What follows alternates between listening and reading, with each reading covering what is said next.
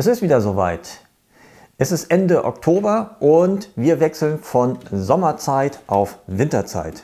Die Uhren, die werden eine Stunde zurückgedreht. Und was hat das dann mit Modellfliegen zu tun? Wie ich finde, eine ganze Menge.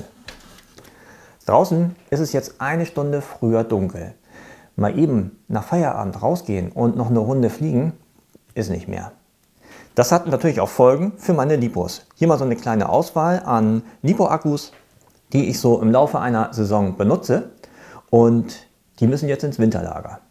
Winterlager, das heißt, die kommen in so ein Row Safety oder Bed Safe.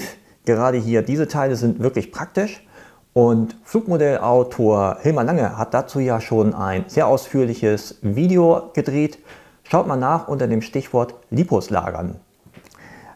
So, wenn die jetzt in dieses Winterlager sollen, dann kann ich die natürlich da einfach reinpacken.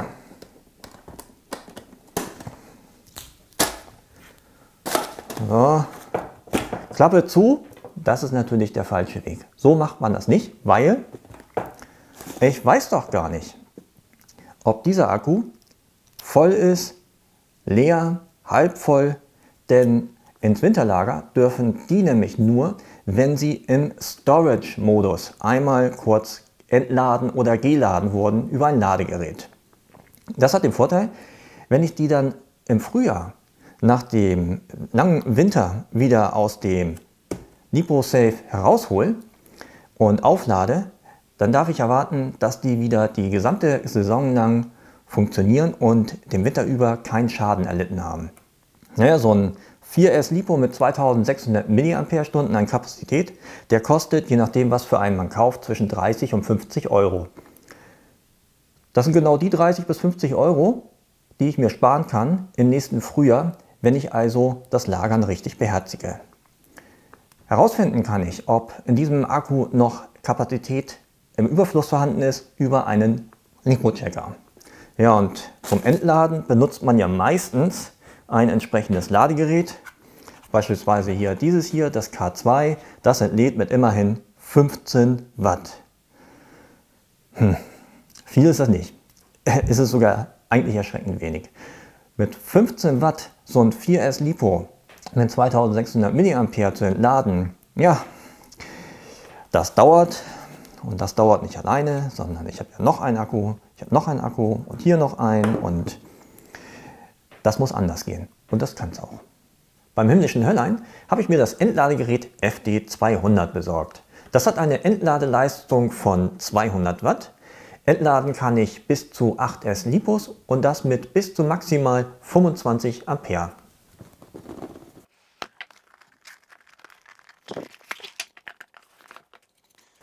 Puh. Untergebracht ist das Ganze in einem stabilen Metallgehäuse. Bedient wird es über lediglich zwei Tasten. Einstellen kann ich die Zellenzahl, also wie viel Zellen der Lipo hat und die maximale Stromstärke, mit der ich entladen möchte. Die lässt sich einstellen in fünf Schritten und zwar 5 Ampere, 10 Ampere, 15 Ampere, 20 Ampere und 25 Ampere. Und die gebe ich über diese beiden Tasten entsprechend vor.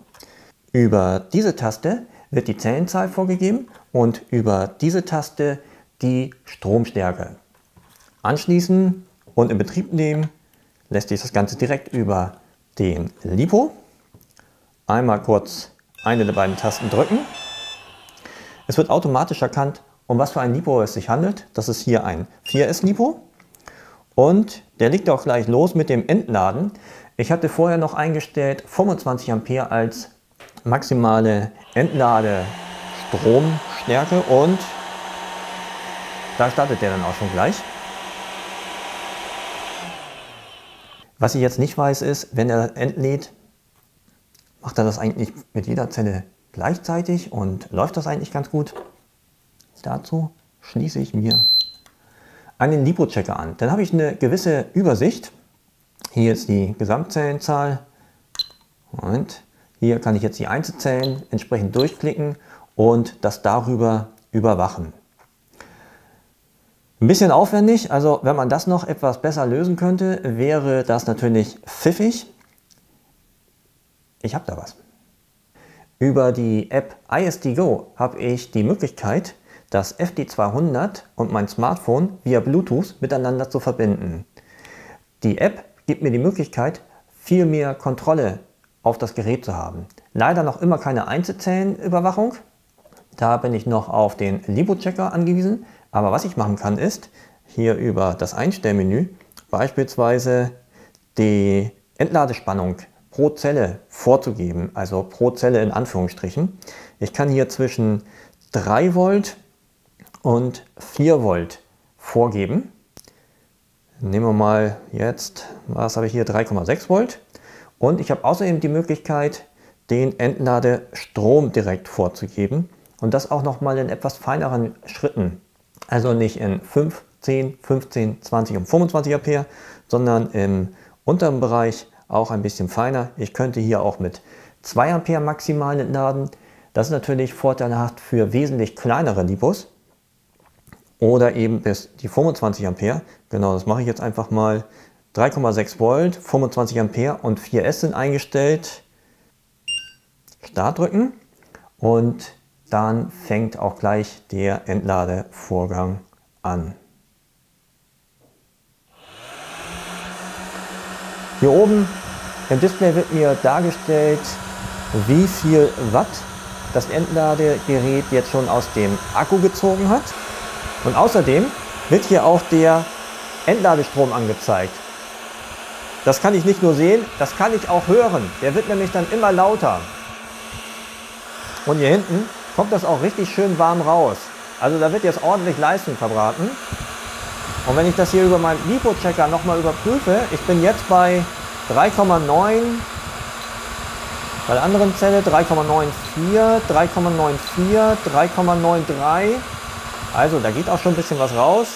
Ich habe jetzt in der kurzen Zeit 205 Watt herausgezogen. Entlade jetzt mit 12,7 Ampere. Ah, schöne Heizung. Praktisch für den Winter. Also mit zum Flugplatz nehmen. Und dann kann man mit einem Akku, den man ja sowieso gerade entladen wollte, sich nochmal draußen die Finger wärmen.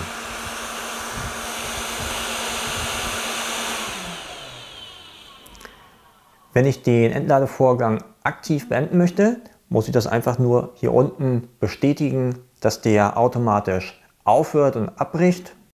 Das Entladegerät FD200 ist praktisch, aber Fluch und Segen zugleich. Der kann jetzt ins Winterlager, aber ist ja nicht nur der. Der muss ja auch noch und der muss auch noch. Das ist so ein bisschen wie beim Disc-Jockey. CDs oder Platten auflegen. Also ich habe jetzt die nächsten zwei, drei Stunden oder vielleicht werden es auch ein bisschen mehr, gut zu tun. Ich hoffe, das Video hat euch gefallen. Lasst gerne einen Daumen hoch hier und abonniert unseren Kanal, damit ihr auch künftig keine Videos mehr verpasst. Und Ganz zum Schluss habe ich da noch was.